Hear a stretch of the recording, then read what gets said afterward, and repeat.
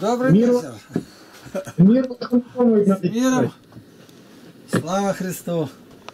Давно вас Ой. не было. Да, Игнатий Тихонович. Ну, мы из церкви сейчас пришли, пока тут э, вчерашнюю запись я сейчас поставил. э, вчера беседовали с Белоруссией. Ну, хо- хороший разговор был по Серахову. А, Ну, что у вас там? Так, Игнатий Тихонович, несколько вопросов. А, В первую очередь а, вопрос о протестантах, и, обратившись, а, переходят в православие, то есть приняв крещение, истинное крещение, и вот насколько они находят себя в нашей церкви, то есть в истинной православной церкви, а, потому что у них, как известно, это не церковь, хотя они действительно христиане. А, Насколько они могут найти применение своим талантам? А, Насколько они, ну, скажем так, уютно себя чувствуют? А, Почему? Потому что я помню, когда вы беседуете с отцом Геннадием и задаете ему этот вопрос, он говорит что-то вроде того, что меня э, церковь приняла холодно, то есть православие было вот и, э, и я даже могу сказать, потому что ведь у меня тоже есть опыт, я э, общался с пятидесятым. Пон- Понял. Значит, у нас все записывается и ставится в интернет. Вы не против? Нет, я за. Я за. Так вот какое дело. Я всем, которые приходят оттуда, говорю, у тебя там что-то было хорошее? Ну да. Ты Библию где получил там? Так ты здесь, а когда пришел в православие самое хорошее, то оттуда перенеси сюда. Я одного тут видел, он говорит, я никогда не забуду, что там получил. Уже священником стал. Вот так надо идти. Вот отец Геннадий он все время вспоминает, где был, что родился в благочестивой немецкой семье. Он и вкуса вина-то не знал. Это надо помнить. Но на практике получается так, что это самое доброе, что у них есть, их глушат, трамбуют буквально здесь. Это как у старобрядцев. Если из православия перешел к ним кто-то, они до самого смертного часа будут говорить, а вот этот-то, он из Накониян к нам пришел. Он, он все, время, все время остается с клеймом никоньянина. И так у православных, а вот этот батюшка, он сектант был. Вот он пришел, за ним все наблюдают.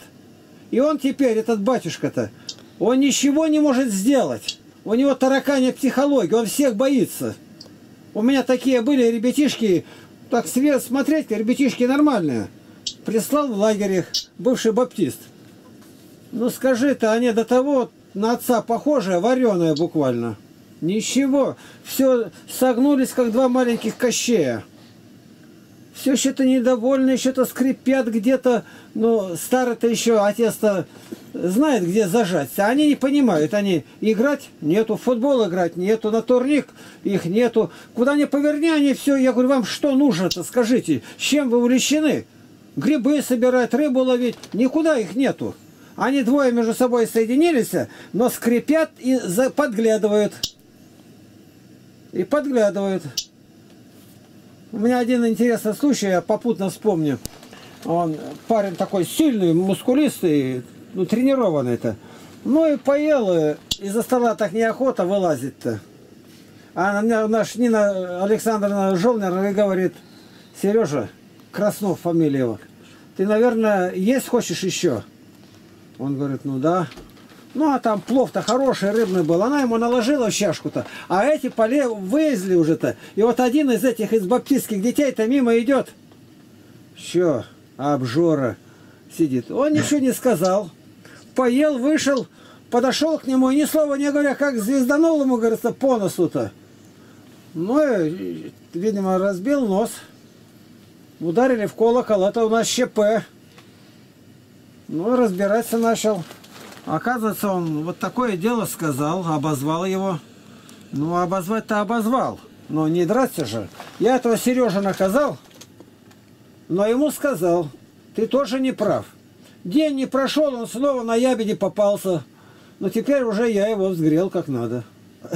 Это я говорю, что это от родителей отростки такие же идут. То есть даже из неверующей семьи они лучше. Почему он все время сжимается, боится, что упрекнуть его где-то. И вот бывает, когда из, из баптистов приходят другие, или там, и он э, рвется в священники. А священник-то его знает и знает, как ты пришел. А он через меня пришел-то. И он возьми да ему скажи. Я, говорит, решил похвалиться, я Игнатия знаю. Игнатия, да это сектант, раскольник, еретик. Я это сказал, потом он станет епископом Сафрони. А Дмитрием был-то. Вот. А не кто-то, это отец Геннадий как раз сказал Фаста. Он-то решил показать, что я не просто с улицы, а я пришел, у меня рекомендация такая в Новосибирский храм-то от Игнатия Лапкина. Там он сразу его усыпил. То есть, если обыкновенный человек, он даже нужды никакой нет, а он из этой группы-то, он э, никуда ему шевельнуться нельзя, они сразу его захлопнут. И поэтому люди, которые приходят из сектантов, вот если бы, ну, говорится, бодливой корове Бог рог не дает, наоборот, надо было бы воспользоваться – сколько хорошего они там имели. Они не церковь, не церковь, но они очищены, живут чище православных, очищены через слово, которое проповедано. Вот почему они чище живут-то. Не пьяницы. И вот, это уже, говорится, по секрету всему свету. Отец Александр Пивоваров, который крестил его, потом узнал, что или они поют, или что-то там, баптистские песни, запретил петь. Я так ахнул. Да не может быть. Серьезно. Ну, вот сегодня у нас к кресту, крест батюшка вынес, вот он подошел сидит, видно? Да, видел, и да, благословите отче. Вот, вот кресту твоему поклоняемся. Вот, кресту да. твоему поклоняемся. Три раза одно пропели, и все. Хорошее слова, все.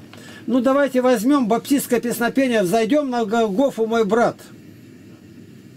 Он страждет, и жаром ланиты горят, он жаждет, и уксус тому подают, щи воды живые для мира текут, пойдем перед ним. Вот это самый поклон и есть.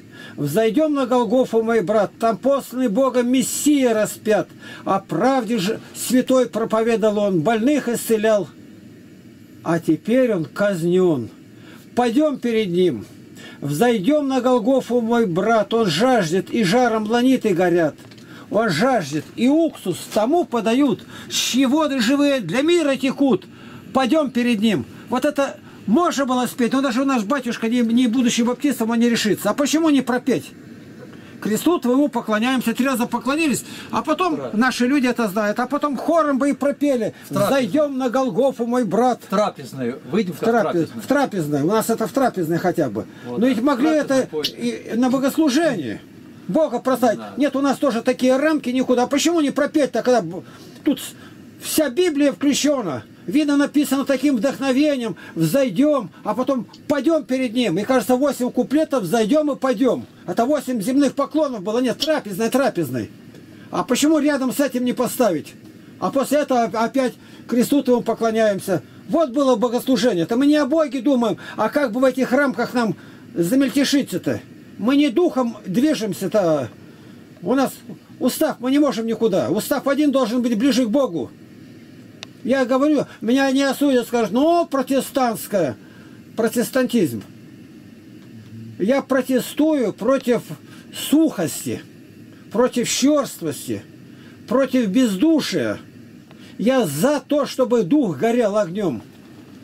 Вот. И эти, которые пришли из сектантов, вот у нас-то они научили нас, у нас накуплены там песни восхождения, там 800 с лишним песнопений, у нас целая библиотека куплена.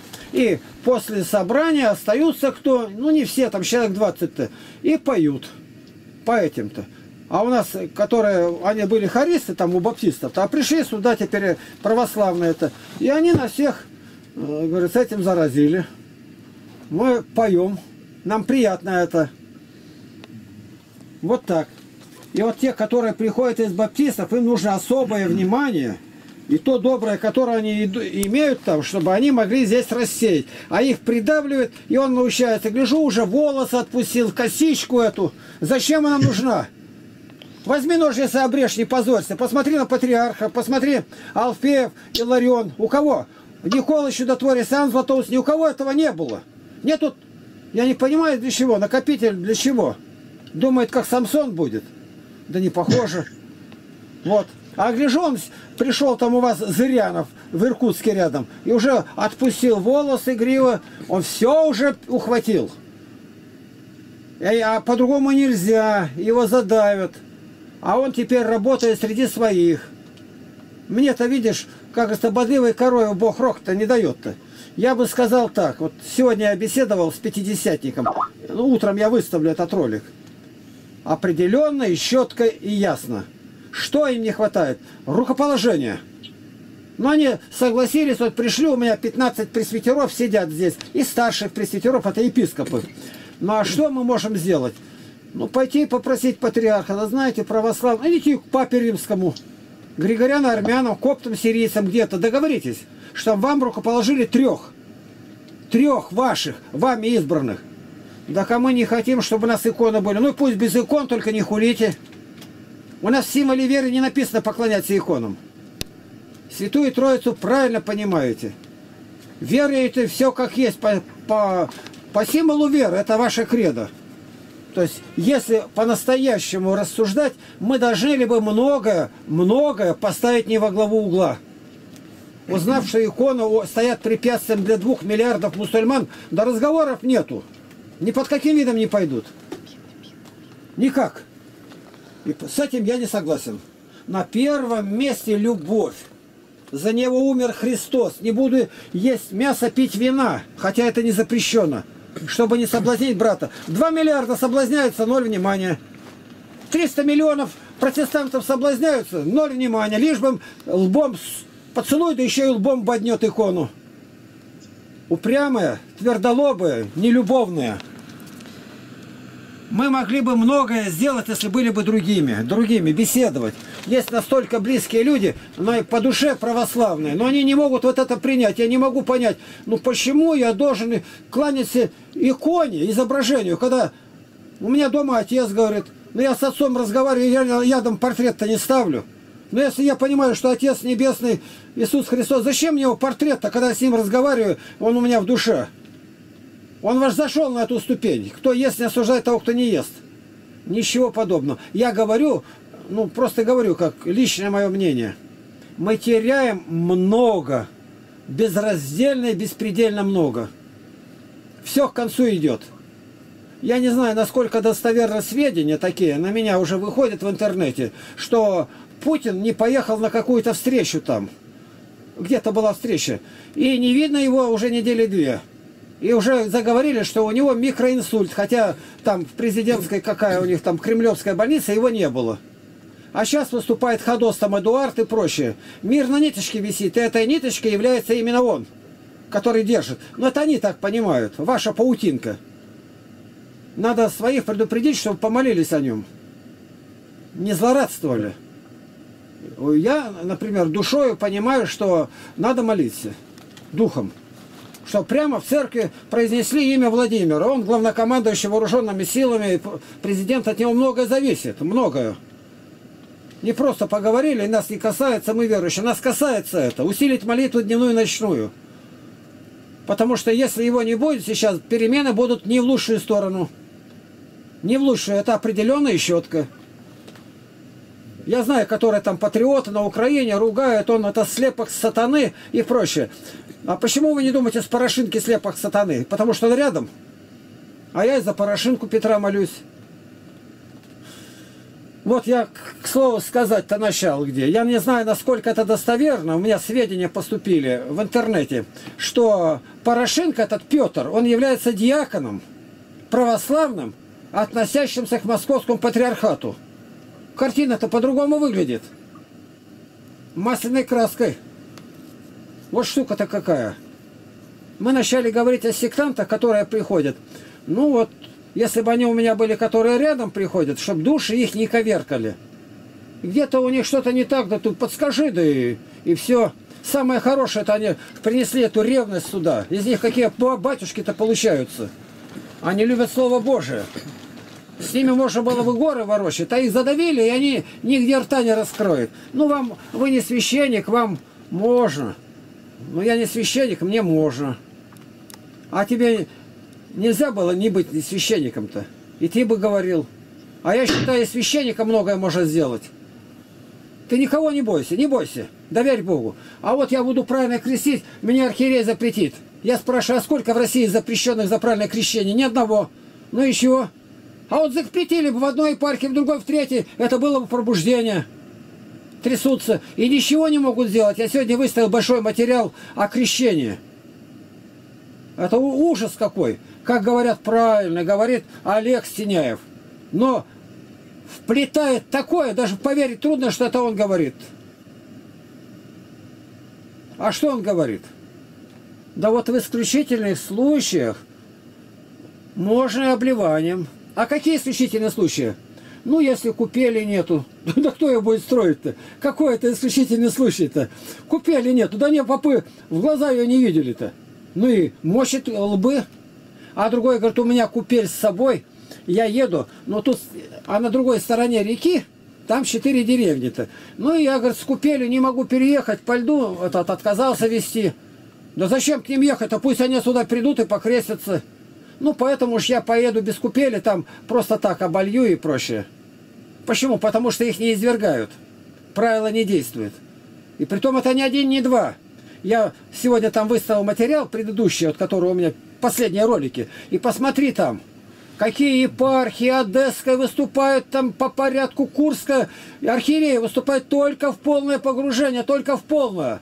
Но но а, этот Олег Синяев говорит, но если он был моченый, ни в коем разе нельзя крестить. Вот в этом-то зараза вся и стоит-то. Ну, если он неправильно крещенный, какой разговор-то? Ну, неправильно. Неправильно начни сначала. Вот священник э, в алтаре. И в это время он начинает, совершается литургия верных, и в это время он там преломляет, и вдруг видит тело. Он видит не просфор, а видит тело.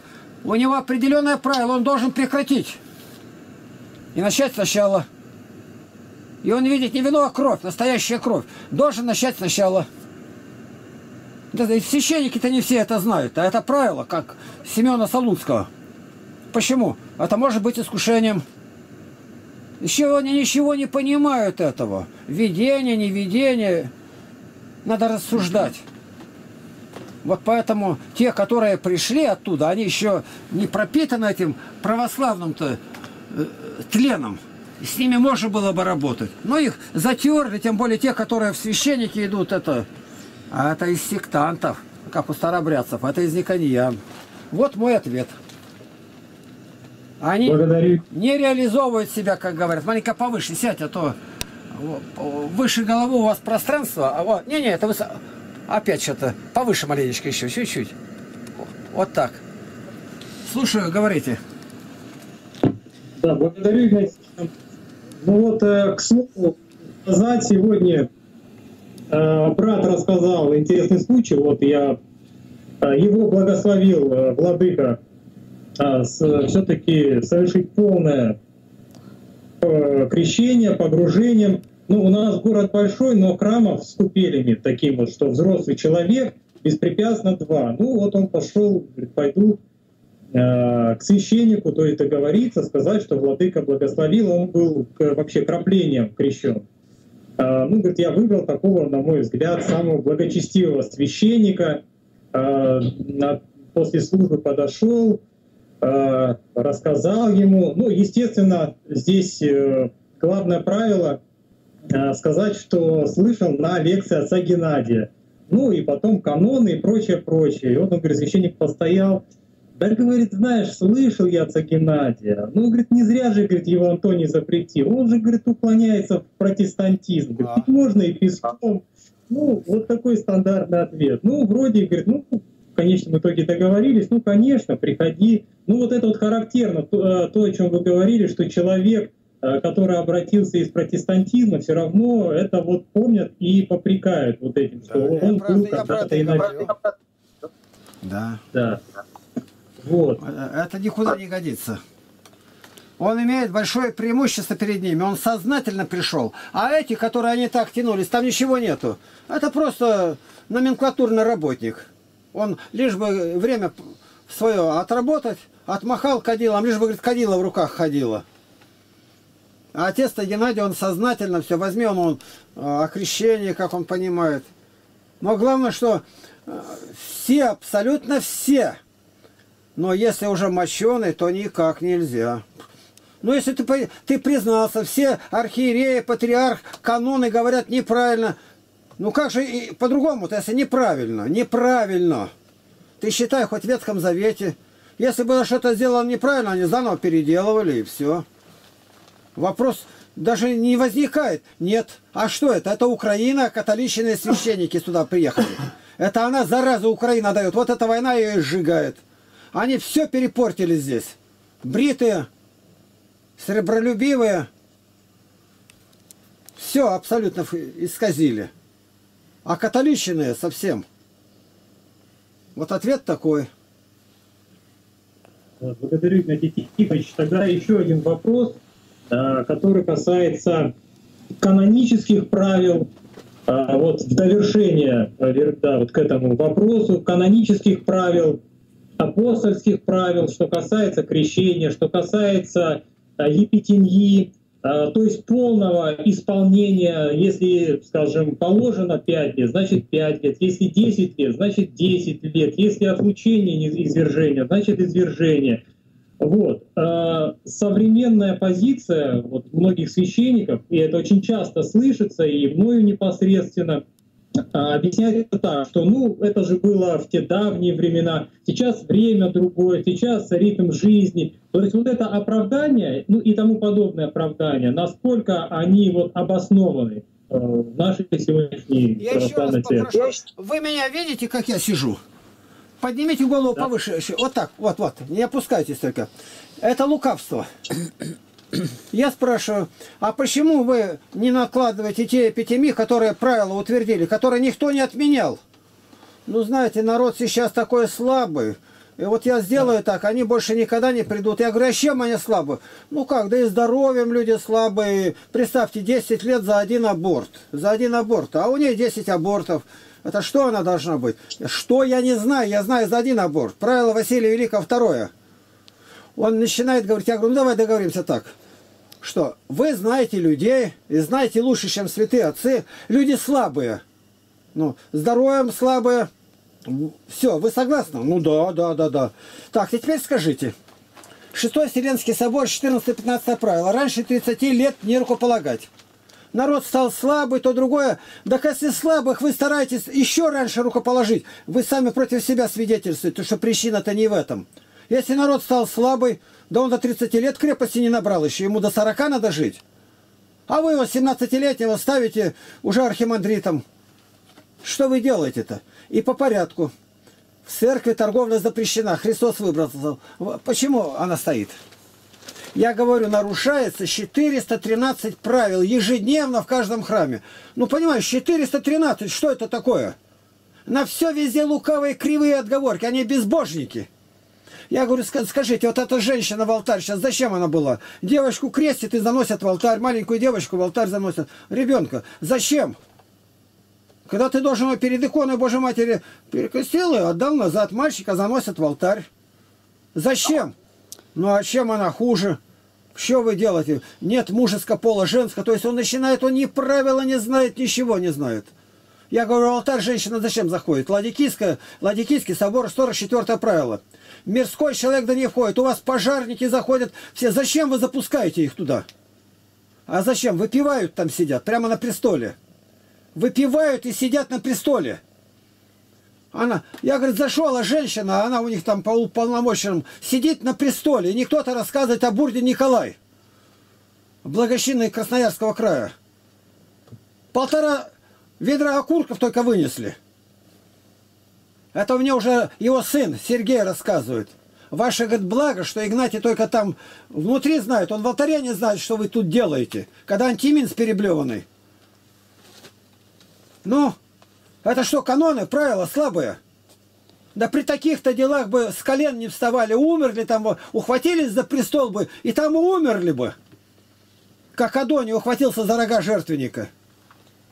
Определенно, четко поставлены правила – и они никем никак не могут быть отменены.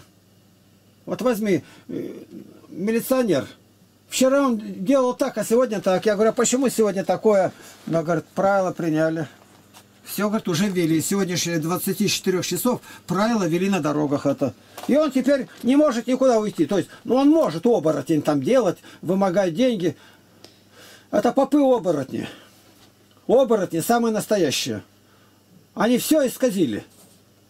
Я по порядку беру правила, но это не два, не три. Некоторые находятся и говорят, ну с чего вот начать? Ну давайте вот Ну, конкретно мне. Вот, я с сегодняшнего дня хочу, я говорю, да ты-то не все можешь, давай с архиереем разговаривать. Я тебе назову 5, 5 хотя бы, 5, не 413, 5, выполни. Первое, не рукополагайте раньше 30 лет. Первое, не рукополагайте. И если он после крещения блудил где-то, его нельзя ставить. Он порщенный, он гнилушка. И если он женился, и она была крещена, а потом сделалась там блудная, и он женился на ней, не имеет права его ставить-то. Это у старобрядцев соблюдается вот это сегодня, по сегодняшний день. Хороший парень поет, я говорю, «А почему не поставили? Мне говорят, он не сохранил себя. Хорошее выражение. Не сохранил. Утонул в гнилом болоте. Не ставьте раньше 30 лет, диакона раньше 25. Понятно? Понятно. Вот первое правило выполните, выполните. А если рукоположен, он должен быть извергнутый. Давайте не извергать, а хотя бы запретите до урещенных лет.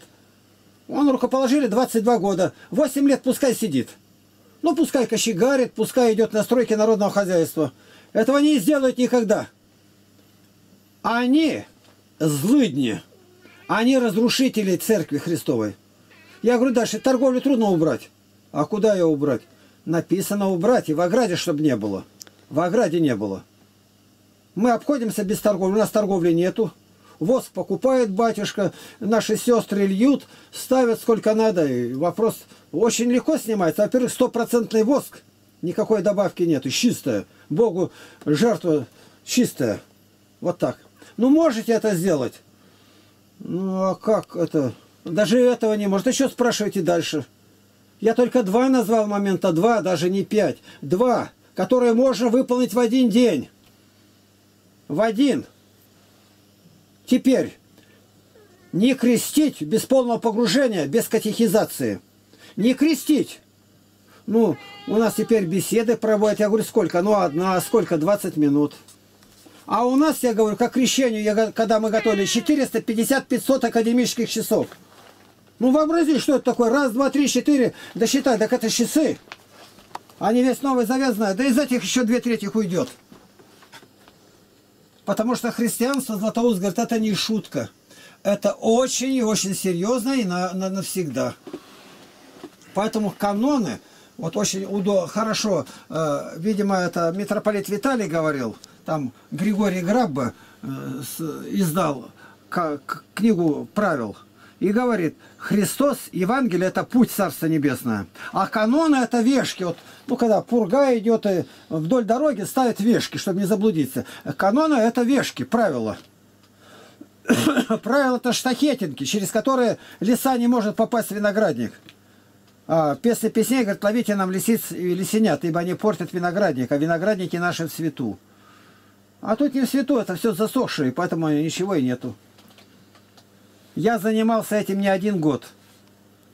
Не знаю, насколько достоверно это, но то, что я знал, спрашивал священников, и я нашел 719 правил, из них 413 ежедневно умышленно нарушаются. Да что так и надо? А другого варианта нету. Да когда уйдет? Ну, это ее выбор. Уйдет, значит, уйдет. Тебе не надо об этом думать. Нигде каноны не говорят, что если она уйдет, то ты виновен будешь. Тебе этого нет. Но он может снизить на одну треть. При, когда? Не в начале, а когда видно будет, что она плачет, она сокрушается, она жалкует сама себе. Тогда на одну треть можно сбавить. Было 7 лет, ну и бери одну треть. Практически на, на 2 года можно быть меньше, там, на два с половиной. Но не, не, как, не по-другому, не просто так. Я взял да и отмахнул. Они безбожники. Они ни, ни Бога не боятся, ни канона не чтут. Вот ответ о канонах. А без канонов православия никакого и нету, это обман. Вот возьмите три, а три теперь, три назвал причины, три. Дальше. У неверующих, к неверующим, которые приходят, не совершать ни молебнов, ничего не для неверующих. У неверующих детей не крестить. Это каноническое правило, там, правда, об евреях говорится. Вот возьмите, вот четвертое, что я вам говорю – вы их не знаете, не ваши прихожане. Прекратите вот это всякие разные отпевания неверующих. Это вы знаете, в храм не ходили. А как они? Ну теперь сами на себя пускай отвечают. Что в церкви только за знако... знаемых. А за незнаемых, которые это за обращение, что пришли к Богу. Вот тебе пять я показал. Все, выполните. Притом это можно выполнить в течение одного дня. Это я гарантирую вам. И не надо строжиться, ничего. Вот правило и весь сказ. У нас ни, один, ни одна женщина не заходит без платка. Ни одна не приходит, чтобы у нее кисти были открыты. Вообще не, мы об этом даже не говорим. А новый, кто приходит, он через кого-то приходит. И тот, через кого приходит, он заранее его уже инструктирует, у нас правила, заранее одевает и все. А если сейчас бы 200 человек пришли, и 200 научим. 200 мы заранее им расскажем правила. У меня в занятии находили в университет, и от него воняет табаком. Сразу побеседовали. Подходит одна, говорит, он сидит э, ну, за столом, за партой, от него так разит. Я говорю, вы курите? Да. Так, мы начинаем занятия в 6 вечера, чтобы больше никогда не было так, чтобы курили в этот день. А он там э, заходит и в туалете, а там запрещается. Мы предупредили. Проходит время, его поймали, все, отказали. Вычеркнули его из списков, а на проходной по списку все, мы с ним расстались. Предупредили дважды, он не понимает, зачем мы из одного будем терять аудиторию. И весь сказ. Да я теперь не буду, ну в другом месте поищи пока. Ты уже говорил. Говорил, а обманул. Надо строго смотреть. Ко мне приходит какой-то туркмен. И видно, что он обрусевший, по-русски хорошо говорит. Ну и я маленько стал узнавать, оказывается, у него мать пьет. А он ее бьет. Я узнал это. Подозвал его, говорит, это правда? Он говорит, правда. Я говорю, я слышал такое, что она была пьяная, а у тебя печь топила, ты печь ее толкал. Да. Да я же тебя предупреждал этого не делать. Больше на занятия не ходи. Тебе занятия не на пользу. И через тебя будет поплек большой на нас. Это я ему на третий раз предупредил и запретил в университет, не в храм. В храм тут вопрос проще решается. Вот что такое каноны. Каноны они облагораживают, целеустремленным делают, собранным. Мне думать, а как вы думаете? Я вообще не думаю здесь. Мне думать надо об одном, как выполнить их. Только об этом. А правила уже обдуманные, святые отцы сидели, они собирались. Возьми, 630 епископов на Четвертом Вселенском. А на всех семи Вселенских 2000 епископов.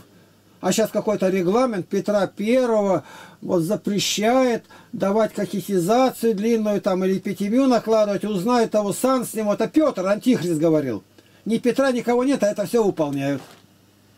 Анафема там и Пугачева считает торжество православия. Ой-ой-ой.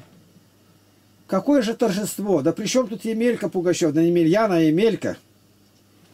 Емелька. Степка Разин, не Степан. Напугал же он их. Ария проклинают. Анафема ему. Нам надо думать о себе. Я вот занимался э, Словом Божьим, ни худо, ни бедно, 50 лет занимаюсь. И я нашел, что четыре анафемы у нас э, в Библии, и все они против православных, в первую очередь против православных. Кто не любит Господа, маранафа анафема. Да кто любит Господа, когда его не знает? И дальше, если что, придет ангел или кто будет говорить не то, анафема, Галатам 1.8.9, да больше православных-то никто не говорит того, что нет в Евангелии. Все, добавки сны разные, там где-то просчитал, с 5 на 10 слюной крестить надо – слюной и песком крестить Стеняев пишет. Вот тебе барабан, договорился. А я его все время говорю, из миссионеров он лучше, но он, правда, по, по Библии много берет. Но дальше он не идет. Он дальше, он знает, что его сразу вышибут оттуда. Ну, перейдите эту грань, перестаньте бояться, учать боязливых в озере Огненном-то. Не положено. Я подряд буду всех исправлять. И они его выкинут. Хорошо. Следующий будет другой, следующий, третий, и накопятся, и тогда потянем в другую сторону. Должна быть жертва. Кровь христиан была семенем христианства. Нужна жертва. Я не говорю о сакральной жертве, а обыкновенной. Вот ответ мой на это. Слава Иисусу. Я вот... Так, что еще есть? Ну, я как бы продолжение того, что я разумею, по большому счету, по-настоящему в нашей церкви как в армии, устав. Вот как устав, там же не рассуждают над уставом, его просто выполняют солдаты. Ведь так должно быть. Первое Вот. Если Он говорит про армию. В, в армии же не рассуждает, устав Да, выполняет. правильно, правильно. Я ни слова армия не понял, тут что-то квакало, так это. То ли микрофончик далеко у вас. Я вот это наушник это держу, это не для ушей, для микрофона. Мне так Понял. удобно. Я слышу оттуда, с динамика, мне так лучше. Только так. Другого варианта просто, его просто нету. Или выполнять, или не выполнять. И, конечно, последствия того и другого, они уже прописаны. Мы это получим. Так, вот еще один вопрос, Игнатий Тихонович. Вчера возник у нас на занятии. Э, Подошла одна сестра э, с вопросом. Вопрос следующий. Э, За кого можно молиться, за кого нельзя молиться? И нужно ли вот на какие-то особые молитвы брать благословение батюшки? Вот такой вот вопрос, и я как бы вот и адресую его На вам. молитве нет никаких благословений, никаких. Это прямое дыхание. Вот я, допустим, хочу дышать. Ну я Да. по- пойду, благослови, батюшка, дышать. Ну что смеять это, дурак ты и все. Молитва это дыхание души. А вот за кого как молиться, вот тут вопрос. За упокой только за тех, которые рабы Божии. Помяни раба, так вот в эту в рабы-то теперь и посмотри, раб он или нет. Узнай хотя бы, крещен ли он. Я грешный человек. Мне всегда жалко. Мэр вот погиб, я разузнал крещеный. Я узнал, что Немцов, э, Борис был крещеный. Я про себя помолился дома один и сказал, прости, Господи, что не так. Мне просто жалко. Он один, покинут, одинокий. Душа вышла, тело брошено. И лежит там на мосту, гляжу, его там переворачивают. Мне очень жалко это. Ну, не прав я, прости, Господи. Но, говорю, молиться надо так, как есть. За здравие молиться только за верующих. Неверующим здоровья не нужно. Неверующих. Вот у нас Путин, вот Владимир, он крещеный, он в церкви стоит, молится. Какой он там, не знаю. Я за него молюсь каждый день. И когда вот сказали, правда или неправда, что заболел, я усилил о нем молитву. Не отпусти его из жизни без покаяния. Вот какая молитва. Потому что на нем слишком многое висит. Слишком многое. Вот ответ. И теперь а, молиться за кого? За обращение, это за всех молиться, за всех. Я каждый день молюсь, Господи, пошли миссионеров христианам, буддистам, мусульманам, иудеям, к язычникам, ко всем. О всех молюсь. Абсолютно о всех. Преграды никакой нет, и никакого благословения на молитву не надо. Благословение какое тебе нужно? Допустим, я работаю при церкви. Вот тут надо благословение. Я работаю и работаю в трапезной. Но мне хочется ночью три раза вставать на молитву. О нем я буду клевать. Батюшка, я днем могу маленько прилечь, потому что благословите меня на ночные молитвы. Я усилить хочу молитву. Вот. И поэтому днем мне нужна льгота. Вот на это вот только надо. Надо понимать, не на молитву фактически, а на то, что из-за молитвы, получается, я изнемогаю, и нужно маленько мне передохнуть. Вот на это надо благословение. Он скажет, нет, ты должна работать на кухне, поэтому успокойся, один раз на молитве помолись там, и на этом все. Вот тут, тут нужно, потому что она непосредственно работает а, от него зависимая в трапезной. Это я уже так искусственно составляю пример какой. Вот весь ответ. Благодарю, Игнатий Тихонович. Аллилуйя. Еще вопрос Давай, давай. актуальный.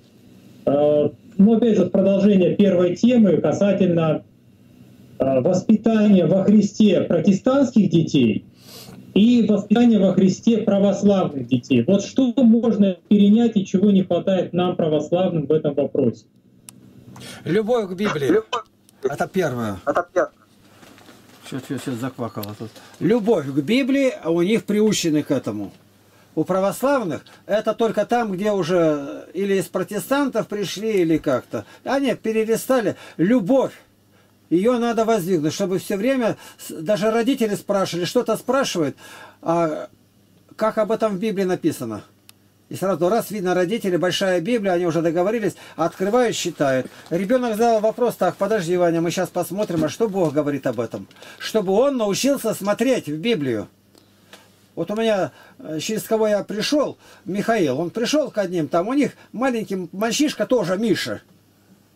Он, смотри, дядя Миша, я нашел написано, вот смотрите, родители, не раздражайте детей. Вот как хорошо написано-то. А он говорит, я перелистнул, притчи написано, не жалею розги его.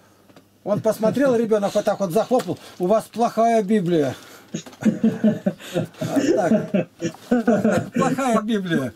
Так это, говорит, и в твоей Библии такое же написано-то. Вот так. Так что многое можно перенять, песнопение.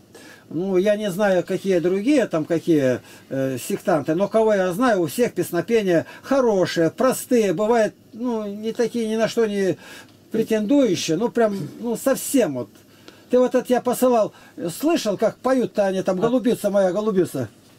Там слова-то написаны, ну, писал первоклассник какой-то, там рифмовка и все хромает. Но оно близко, душа моя голубица, я пою о ней, и поют хорошо, правда? Здорово, здорово. Вот. Но у баптистов у них был Проханов Иван Семенович Степанович. У меня двоюродный брат был Иван Степанович. Он талантливый поэт, музыкант, и поэтому стихи, тогда сборник духовных песен, больше половины его, он сам знает английский, переводил оттуда. Разные там шотландские мелодии, английские. И песнопения эти, э, я, они у меня звучат внутри, потому что я с первого дня их как мог пел и слышал. Поэтому 16 том, когда я издал, я там где-то около 60 песнопений поместил. Вопрос спрашивает, как баптисты там поют, я их поместил туда, которые я знаю. Вот так.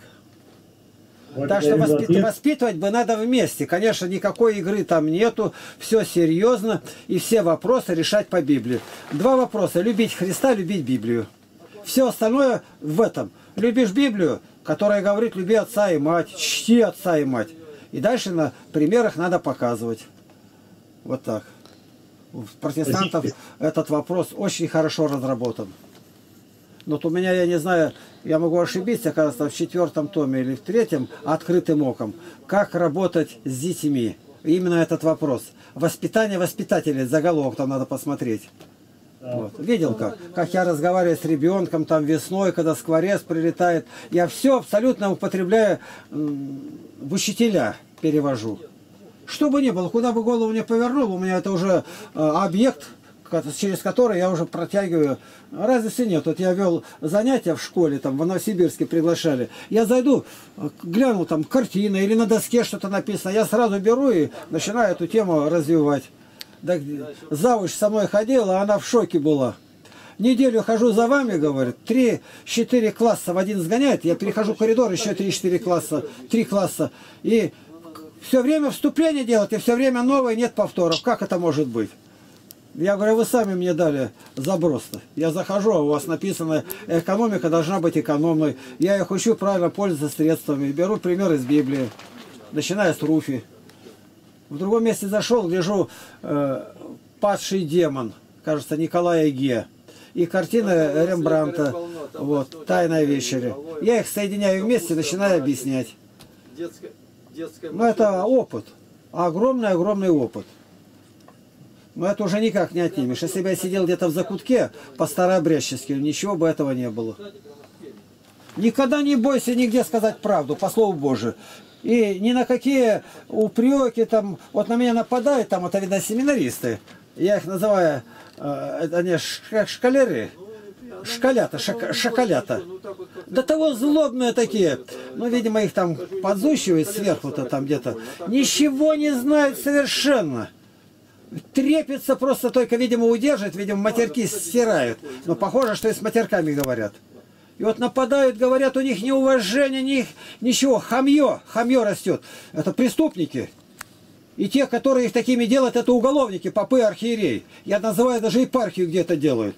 Это у нас здесь было конкретно. Наши вышли мы были все, я был в соборе Покровском, и как мы вышли, э, прощенное воскресенье, архиерей, больше 30 священников, ко всем подходим, архиерей благословил, просились, мы вышли на улицу, вышли улица, ну и да, стоим там, не я, а другие братья раздавали квитки, кто подходит, и о нашем сайте, а, на бумажке наклеенный, там больше ничего не было, сайт к истине один народ.ру. Семинаристам идти в ту сторону, они вышли сюда, окружили, вы что тут делаете? Это кто вам разрешил? А на улице совершенно. А другой подходит на, на Игоря. Он пацаненок, а Игорь с седой бородой в подряснике. Ну ты, козел! Дурак! Из храма в воскресный прощенное воскресенье. И тут же стоит их священник. Я говорю, вы что делаете? Наши сестры стоят. А другой подходит. А что вы разговариваете? Дай ему в морду. Это на Игоря Двунова. Это попы их сделали такими. Я знал некоторых, говорю. Они такими не были. Вот Иуда Бенгур фильм говорит, я знал Мессал, он таким не был, это Рим сделал таким безжалостным и жестоким. Это Рим развратил его, это патриархия. И когда мы сидели, наш епископ и местный Максим Дмитриев в епархии здесь, а у него на стене э, в рамочке там видно, я говорю, что отличники, наверное, да, я говорю, это ваши волчата. Это вы их такими сделали. Вас сегодня надо по уголовному кодексу судить, как преступников. Вы взяли не таких, но уже на первом курсе вы их развратили. Кем сделали? Это я говорю конкретно, какие они есть. Дальше мы пошли, когда домой, сколько людей есть, кому бы мы ни дали, никогда ни один человек против не скажет, или возьмет, или не возьмет. Тем более сейчас у нас украшенные визитки такие. А тогда просто на картонке мы наклеивали где-то. А, ну, Еще-то сделали нет. А им надо, говорится, вывернуться, показать, какие они патриоты чтобы его поскорее подают. Это подлые-подлые люди растут. Более развращенных, чем в семинаре, я даже не встречал нигде. Но из них потом будут натуральные попы, озверелые. Вот как. Так а вы на священников говорите. Я говорю то, что есть. Я показываю на фактах. Самый смиренный день – это прощенное воскресенье. И в этот день они так себя ведут. Озверелые совершенно. И их сделали такими здесь. Они такими не были. Ни в комсомоле, нигде. Вот так. Еще два вопроса. Давай. А, вчера мы рассуждали на тему, опять же, исходя из толкования э, стоя Иоанна Златоуса, по поводу того, что ни в коей мере э, человек, христианин, не должен посещать театр, тем более облачаться, лицедействовать, цирк. И вот насколько это распространяется на современное кино, вот как на жанр. Потому что, вот, например, в Саудовской Аравии там нет кинотеатров, они там запрещены.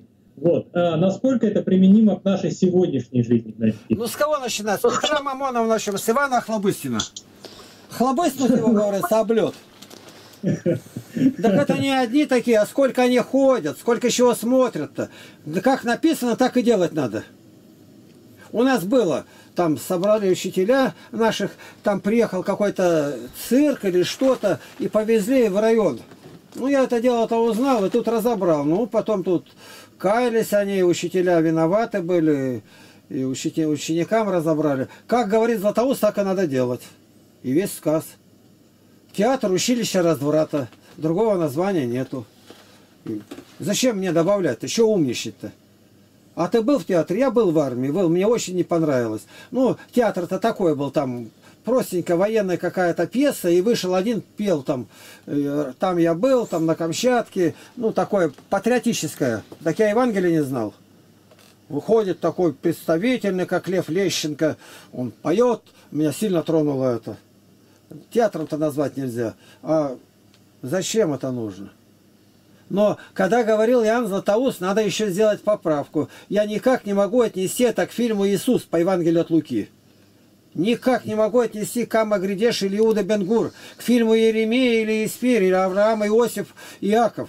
Никак. Таких фильмов не было. Они там представляли, говорит, какие-то бассейны, женщины там купались, как они одеты. Ты, говорит, приходишь домой, после этого на свою жену глядеть неохота. Она там в задрипанном салопе ходит на кухне. То есть он говорил о том, что развращает. А об этом, что сегодня, он нигде не говорит. Так вот я сейчас считаю, Петр Мамонов, он там прям таким верующим стал, столько говорит, вы хоть свечками обложитесь, хоть святой водой задохнитесь, а если не христианин, то ничего там и не будет. Он, прямо видно, что он воинствует. А Хлобыстин-то он, я служить священником не буду, он не снятый сан с него. А он там юродивых играет, бесноватых, и срамота одна. Только вот так, как в театре, весь ответ, он сказанный, мне надо выполнять. То есть как выполнять? Не ходить, и не участвовать. У нас тоже те- театрально представляют на Рождество. Тут ничего такого нет. Они там в руках картонку, осел, приходят, там говорят как. Это более наглядно, это никогда не запрещалось. Наоборот, это возвышает. Но даже это, когда спрашивали, можно, нет, я не даю ответ. Вот если бы зависело от моего благословения, то, может быть, не было бы даже этого. Но я не, ничего не сказал. Тут я не хозяин. Тут батюшка распоряжается. Ко мне даже дважды подходили, артисты тут главное. Ну ладно ли мы делаем, что-то душа смущается. Идите к батюшке. Благодарю. И еще один вопрос, опять же, адресую из того, а, который задали вчера на занятиях. Ну, я просто, честно говоря, не успел э, посмотреть на него а, ответ, поэтому, пользуясь случаем, э, из первых уст э, спрашиваю. Ну, в принципе, он не очень сложный. И из того, что я знаю, спросили, кем был Иуда. Ну, известно, что он был казначей вот, у апостолов, и в 12 главе, кажется, Иоанна написано, что он был вором. Вот э, кем он был до, а, ну скажем так, до обращения, ну даже не до обращения, а до того, как он стал апостолом. Вот отцы говорят об этом что-то Не говорят. нет? Не говорят, но есть такое, я слышал, это у старобрядцев там где-то записано. Они к нему обращаются, там 108 псалом, и все, что там написано. Что он где-то был, когда маленький был, где-то в другой стороне, и он не знал, а когда вернулся домой, то э, сошелся с матерью своей. И грех матери его не изгладится, это относится к ему. Ну и дальше все это на- наклепано, ниоткуда это неизвестно. У святых отцов нету. А, в апокрифических Евангелиях говорится, когда он со Христом голубей этих лепил, а у Христа лучше, и он топтал их злобно такой, а Христос бросал своих голубей, они тогда глиняные летели и спасались. Но все это апокрифы. Нас это не должно интересовать. Должно интересовать, почему он стал предателем.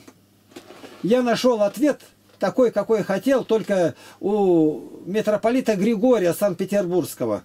У него есть такая брошюрка «Один день святой жизни». Очень хороший, я ее насчитал на пленку. Иуда не первый предатель. Первый предатель это Христос. Христос. Иуда ответил предательством на предательство.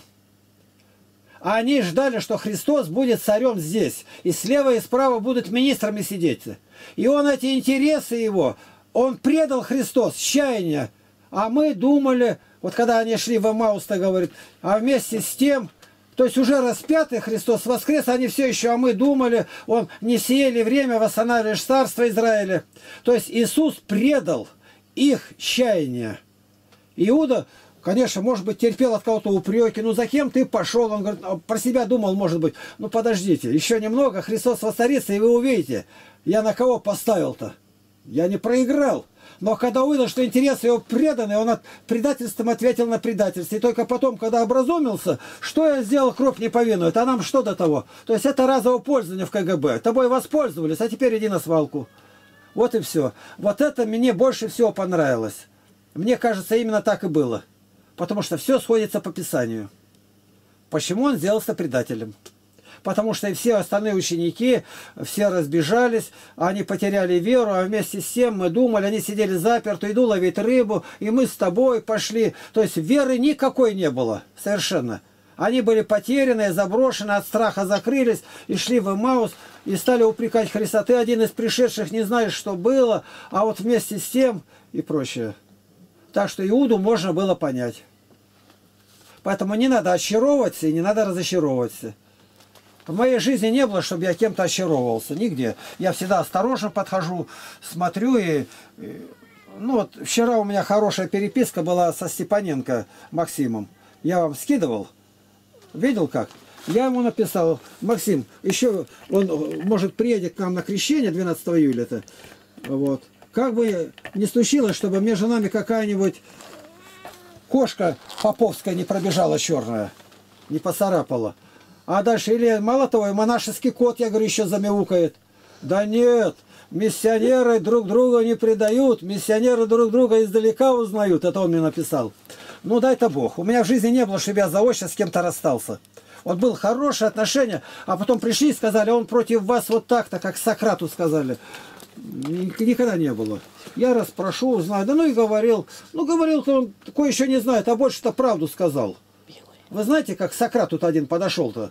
Вот, пришел и- говорит, я а, а, один там вот про вашего друга узнал такое. Вот Он говорит, подожди сначала, ты хороший или плохое про моего друга? Он говорит, да нет, не хорошее. Так, ты пришел мне рассказать нехорошее про моего друга. Так, да, вот, да, подожди маленько. Но другу моему понравится это, что теперь вот про него рассказано? Да нет, не понравится. А дальше, а мои отношения с другом улучшатся или нет? Да нет. Итак, ты пришел сказать, а уверен, что это правда? Да нет, я не знаю, не уверен. Ты пришел сказать, что не уверен, заранее знаешь, нехорошие отношения не улучшатся. Да я понял, не надо ничего говорить. Повернулся и ушел. Вот если бы мы так вопросы, как Сократ, ставили, у нас бы по-другому было. А тут уши развесить, как слоны. И, ой, я слышал о вас. Ну, слышал. И что, а я тебе ничего не слышал. Я глухой. И потом отношения у меня всегда ровные, хорошие. А мне говорят, а вот сейчас ты слышал, еще выступали? Ну, я говорю, дома приду, когда включу, послушаю. Так он против вас говорил. Еще для меня это не касается. Для меня вообще это не существует. Как будто и нет ничего. А я узнал, узнал, теперь он у меня на примете. Я буду молиться за него. Я молился вообще, а теперь с вспоминанием его имени. Вот и все. Ну, тогда благодарю, Игнатий Тихонович, вас за такие содержательные ответы. Я был очень рад вас видеть, батюшку Владимира. Да, вот батюшка да. подошел. Да, благословите. Все. У нас Виктор Андреевич уехал в Москву, врач, и он оттуда поедет к Сергею парализованному, Козлову, Воронеж. Вот чем-то, может, помогу. Постарался с матерью Татьяна Ильинича созванивался. Ну, может быть, как-то что-то... У Сергея недавно камень стал выходить не из почек, а из печени. Говорит, 20 сантиметров. Ужас, что было. А он еще решил поститься два дня, не есть. Да кто же ему разрешил-то? Вот тут надо было, я ему говорил, со священником посоветуйся, и он чуть не умер. Между небом и землей, говорит, завис, и его вообще не было. Ну и вот, на лето имей в виду, если будет желание отдохнуть, приехать, мы с радостью примем. Я вам маршрутку скинул. Да, есть, ну, есть. Что с собой брать? Резиновые сапоги, просто не наволочка. Остальное у нас есть. Если хлеба захватите, или, ну, это не, не против будем. А тут остальное можно купить будет. Молочное. Батюшка иногда барашков тут продает. Вот, можно купить. Понял. Благодарю за приглашение, Никита ну, ну все, отхожу. Спаси Христос. Увидите отца Геннадия, поклон от нас ему передавайте. Во славу Божию. Слава, Слава Христу. Вот взял. Все книги выписал. Красноярск. У него все книги есть. Он работает. Преподает в университете, в академии и при епархии. Вот Господь так сроднил, как будто бы всю жизнь знали друг друга. Ни одного самого маленького нет у нас вопроса, который понимали бы по-разному. И он недавно, защищая, говорит, диссертацию, готовлюсь. Ну, говорит, посмотрел наша переписка, это, говорит, докторская. Наша переписка. Ну, вот так. Вот Юрий